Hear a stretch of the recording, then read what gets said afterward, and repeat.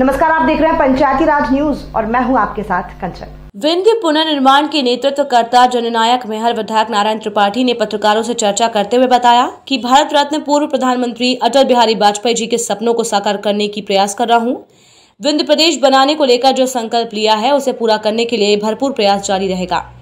विधायक नारायण त्रिपाठी ने बताया कि 2 अक्टूबर से 13 अक्टूबर तक रीवा और शहडोल संभाग की समस्त विधानसभा के प्रमुख क्षेत्रों का दौरा कर जन जागरण अभियान चलाएँगे और लोगों को जागरूक करेंगे।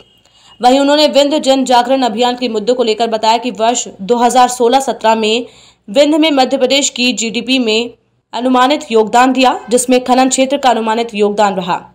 पशुपालन क्षेत्र का भी अनुमानित योगदान रहा, कृषि क्षेत्र का भी अनुमानित योगदान रहा।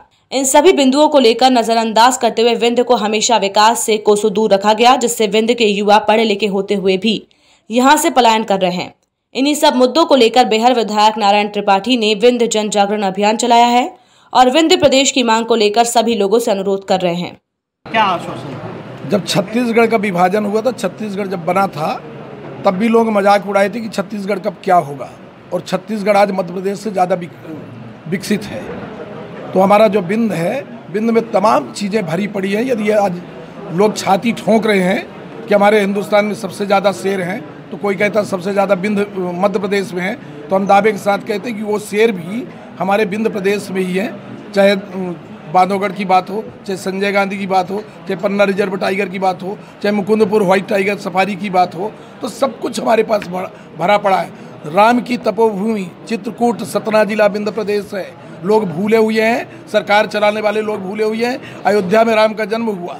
राम मर्यादा पुरुषोत्तम भगवान चित्रकूट में बने हैं। उस चित्रकूट के बारे में भी अयोध्या से ज़्यादा देखने की ज़रूरत है, यहाँ के विकास करने की ज़रूरत है। ये सतना जिला और बिंद का होने के कारण इसको उपेक्षित हम लोग बर्दाश्त नहीं कर सकते। हमारे पास सब कुछ भरा पड़ा है। इसको जो मोदी जी कहते हैं कि हिंदुस्तान को समृद्ध हिंदुस्तान, आत्मनिर्भर हिंदुस्तान बनाना है। तो मैं दावे के साथ बोलता हूँ कि हमारा बिंद तमाम संसाधनों के दम पर आत्मनिर्भर और समृद्ध हिंदु बिंद प्रदेश कहलाएगा, जो नर्मदा नदी का पानी तमाम दुनिया में पूरे जगह जा रहा है, वो नर्मदा नदी का उद्गम स्थल भी हमारा बिंद है।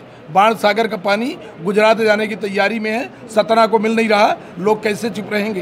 ये तमाम चीज़ें हमारे पास हैं, हमारा बिंद बना के दे दें, बिंद को आत्मनिर्भर और समृद्ध बिंद बना के दे देंगे।